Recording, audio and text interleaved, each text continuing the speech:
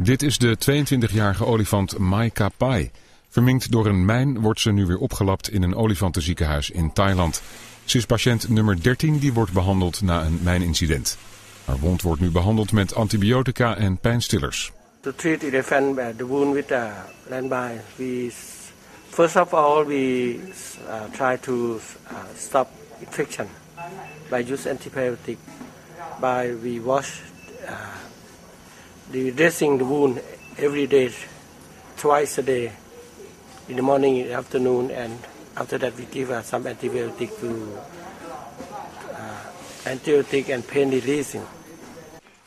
De olifant stapte vorige week op een landmijn bij de grens met Birma. De grensstrook ligt bezaaid met mijnen door gevechten tussen de regering en rebellen.